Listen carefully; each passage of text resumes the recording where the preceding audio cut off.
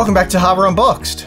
Okay, so a popular question that was asked multiple times during our recent Q&A was, can you please create a GPU scaling benchmark with new third gen Ryzen CPUs?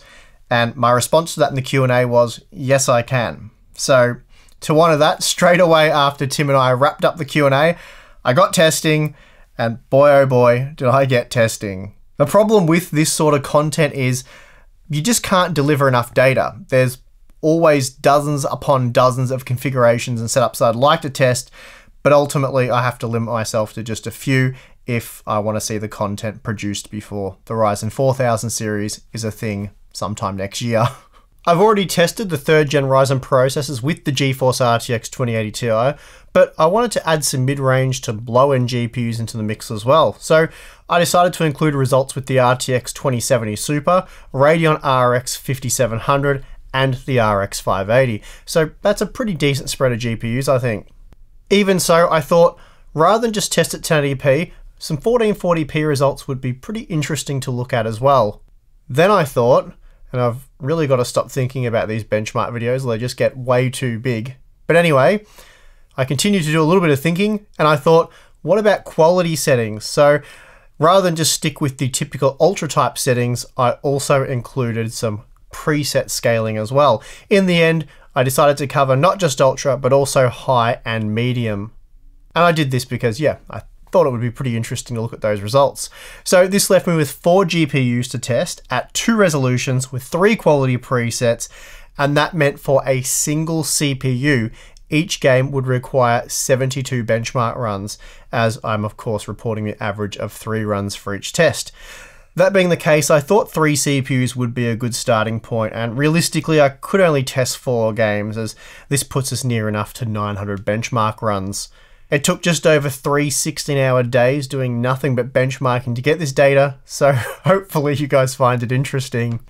The games included are Rainbow Six Siege, Assassin's Creed Odyssey, Far Cry New Dawn, and World War Z. The CPUs tested for this first installment and what will hopefully become a mega gaming scaling series. Those CPUs include the Core i9 9900K, Ryzen 9 3900X, and Ryzen 5 3600. All CPUs have been tested using G.Skill's Flare-X DDR4 3200CL14 memory with the Corsair H115i Pro installed. Any auto overclocking features such as MC or PBO have been disabled, so it's just out of the box performance with a quality AIO. So let's get into the results. First up, we have the 1080p ultra quality World War Z results. With the RTX 2080 Ti, we see the exact same 1% low performance with the 9900K and 3900X, which isn't what you'd expect to see if you looked at the results from the RTX 2070 Super and RX 5700, as the 9900K was 3 to 4% faster with these slower GPUs. So that's quite interesting. The 9900K though was 4 to 5% fast when looking at the average frame rate with the 2080 Ti and 2070 Super, but that margin was reduced to just 3% with the RX 5700. Then as we drop down to the RX 580, which is still pushing well over 100 FPS at 1080p, all three tested CPUs delivered basically the same performance. It's interesting to note that the 3900X was still 6% faster than the 3600 with the RX 5700, and that margin only grew to 8% with the RTX 2080 Ti, as we are quite far off being CPU bound even with the 5700 at 1080p. Now, moving up to 1440p, here we see the RTX 2080 Ti does pull comfortably away from the RTX 2070 Super and RX 5700, we do see some oddities though when comparing the RX 5700 and RTX 2070 Super.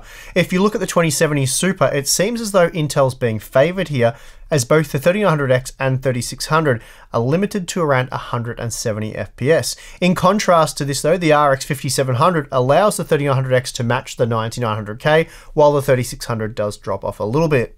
With the RTX 2080 Ti, we see that the 3600 finds its limits in regards to the 1% low performance and interestingly, the 3900X and 9900K are now more evenly matched than they were with the RTX 2070 Super.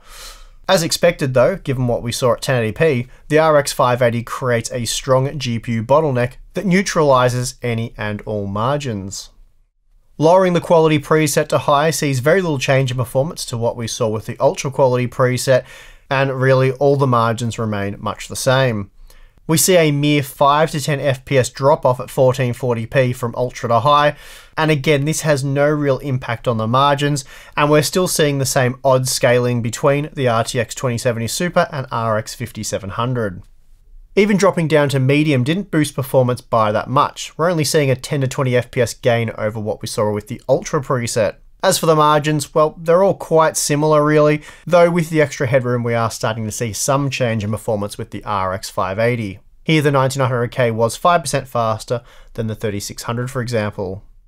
Then finally, the last World War Z set of results, at least for now, looks at 1440p medium testing, and here we see some pretty similar scaling to the 1440p ultra results.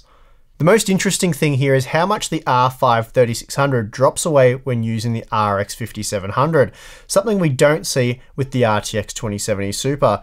This is again seen with the RTX 2080 Ti, but these results make a bit more sense as the faster GPU enables the faster CPUs to push higher frame rates. Moving on to some Far Cry New Dawn testing, and first up we have the 1080p Ultra results. As you can see, we're very much CPU bound at 1080p, even with the RTX 2070 Super.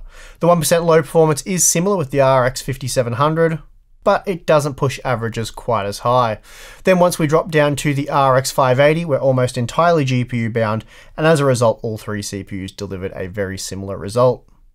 Now at 1440p the margins are still similar with the RTX 2080 Ti, but they do close up a little with the RTX 2070 Super. Also, as expected, very little difference between the two CPUs can be seen with the RX 5700, and again we find the exact same performance with the RX 580. Now with the high quality preset, we're again heavily CPU bound with an RTX 2080 Ti and 2070 Super installed, and it's a similar situation with the RX 5700. This allowed the 9900K to provide 15% more performance even with the 5700. Moving to 1440p, and here we see similar margins between the 3900X and 3600. So basically the same level of performance with any one of the four GPUs tested. The 9900K is again 15% faster with the 2080 Ti, and this time 13% faster with the 2070 Super, while the margin is reduced to 9% with the RX 5700. And of course, once we get down to the RX 580, we are heavily GPU limited, so we see the same performance across the board. Finally, with the normal quality preset enabled, we see pretty much the same performance from the 3900X and 3600 at 1080p using the RX 5700, 2070 Super, and 2080 Ti.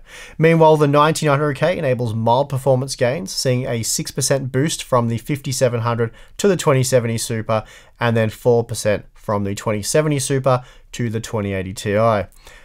The 9900K was also up to 24% faster than the Ryzen processors at this low resolution using these mild quality settings, but again with an RX 580 there was virtually no margin to be seen.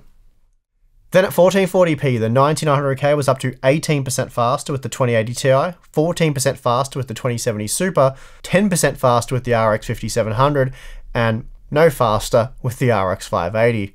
Remember, this is pretty much a worst case scenario for Ryzen, which is one of the reasons why I wanted to include it in our batch of games for this particular testing. Moving on to one of the best case scenarios for Ryzen, we have Assassin's Creed Odyssey. Here we see the 1% low performance of the Ryzen 5 3600 maxed out at the RX 5700, though we do see an increase in the average frame rate as we step up in GPU power. The 3900X manages to beat the 9900K for 1% low and average frame rate performance using the RX 5700, 2070 Super, and 2080 Ti. Increasing the resolution to 1440p reduces the margins for the most part, though we do still see the 3900X punching ahead with the 2080 Ti for the 1% low performance.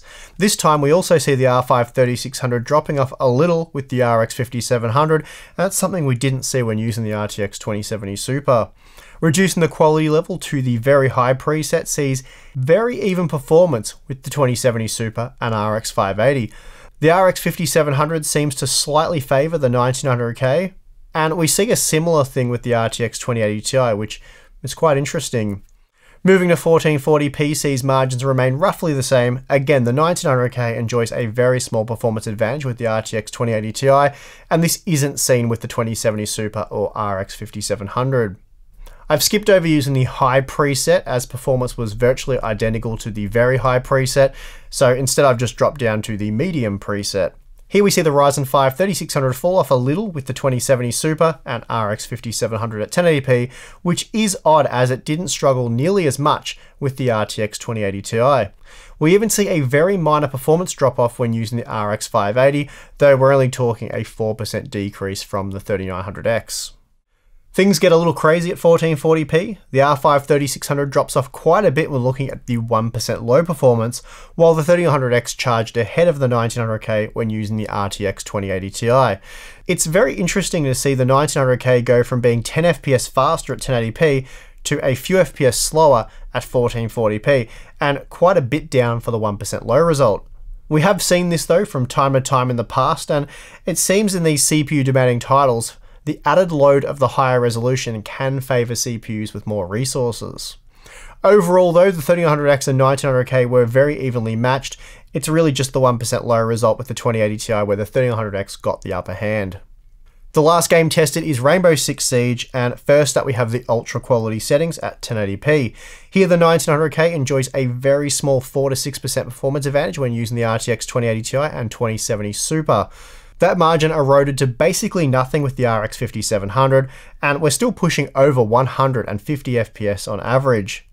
Then with the RX 580, there's no margin to speak of. Jumping up to 1440p sees no difference in performance with both the RX 580 and RX 5700. Meanwhile, the 9900K was just 5% faster using the 2070 Super and 4% faster with the 2080 Ti. Dropping down from ultra to very high sees the same margins with the Radeon GPUs, while the 9900K enjoys a slight performance advantage with the 2070 Super and a reasonable performance advantage with the 2080 Ti. The margins are very much the same at 1440p between the ultra and high presets. Again, the 9900K really only offers a performance advantage using the RTX 2070 Super or anything faster. Dropping down to the high quality preset extends Intel's lead with the 2080 Ti at 1080p. Now it's 10% faster than the 3900X for the average frame rate, pushing well over 200 FPS. So again, you have to wonder how much it matters at that point. It was also 14% faster when looking at the 1% low performance, but for 144Hz gamers, even the 3600 was good for over 170 FPS at all times. Then we see the margins with the 2070 Super were much the same, and again the margins are neutralized with the RX 5700, and of course anything slower. The 1440p Ultra and higher results are basically the same. The margins with the 2070 Super and 2080 Ti are extended ever so slightly in Intel's favour, but not exactly anything to write home about given we're pushing over 130 FPS at all times with the 2080 Ti, regardless of the CPU used. Wrapping up the testing, let's just quickly look at the average performance across the four game sample. I know four games isn't a lot, but you know, there was a lot of testing done here, so hopefully you guys can uh, hop off my back on that one.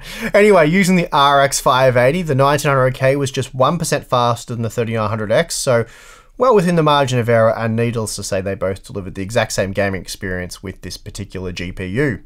Then we see that the 9900K offered a 3% performance boost with the RX 5700, but again, overall, a very similar experience. The 9900K was then 6% faster with the 2070 Super, which is nice, but I'm not sure you'll notice the jump from 144 FPS to 153 FPS.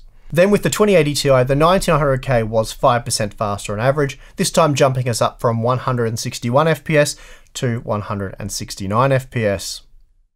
Then for those of you playing at lower quality settings, we saw the 9900K enjoy a 5% performance advantage with the RX 5700 using the medium quality settings. Then we see it was 7% faster on average with the RTX 2070 Super, and finally 11% faster on average with the 2080 Ti.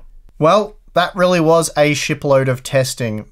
Doesn't really tell us anything new though, but I wasn't really expecting it to. I just wanted to try and cover this from all angles in a single video. So hopefully hopefully I've achieved that. I have done lots of GPU scaling and preset scaling in the past, but I don't think I've ever done this much testing on the subject in a single video. For the most part, you're not going to see too much difference between a 3900X and the 9900K with an RX 5700 or an RTX 2060, for example. There is some separation depending on the title tested, uh, with something like an RTX 2070 Super, for example, but Even so, for titles such as Rainbow Six Siege, where the 9900K was a good bit faster using the mid-range quality settings at 1080p, that margin was heavily reduced at 1440p, and even the 3600 allowed for average frame rates that were well in excess of 144 FPS, so you have to wonder how much it really matters. Basically, if you're looking at spending less than $700 US on a graphics card, buying a Core i9 9900K or a Ryzen 9 3900X purely for gaming really isn't a great investment. You're far better off with something like the R5 3600. In fact, purely for gaming, I wouldn't really recommend either the 9900K or 3900X unless you're dumping, say, $1,000 on an RTX 2080 Ti. The Ryzen 5 3600 really is the go-to processor right now. I'd even recommend skipping over the 3700X, purely for gaming that is, as high performance 8 core 16 thread processors won't be fully leveraged in games anytime soon, and the $130 US you save right now can go towards an upgrade when you actually need it many years down the track. As for the format of this video, the, the test scenarios covered, I think when visiting other CPUs, so doing follow-up content of, a, of this style, I'll probably stick with three, four GPUs. So what was done here, I'll also test at two resolutions, again, what I've done here. But I think I'll probably ditch the quality preset scaling and that will allow me to include more games, which I think will give us more interesting results rather than focusing on a select few games so heavily. So let me know what you guys think about that. Um, I think that's probably the way to go, but of course I'll uh, I'd like to hear from you guys before I make any decisions. And also let me know what other CPU or CPUs you'd like to see compared in the next installment of this series. And that is going to do it for this one. If you enjoyed the video, please give it a like because it was a tremendous amount of work even if the results weren't particularly uh, well, they, they, didn't really change too much, but as I said, we weren't expecting them to. It just gives us a bit more information and it sort of validates what we think we already know. Anyway, but like I said, if you enjoyed the video, please give it a like because, yeah, it was a lot of work. And if you appreciate the work we do here at Hardware Unboxed, then you can jump over to our Patreon page. There's some cool perks over there. If you're interested, link in the video description, you can go check it out. But as always, thank you for watching. I'm your host, Steve, and I'll see you again next time.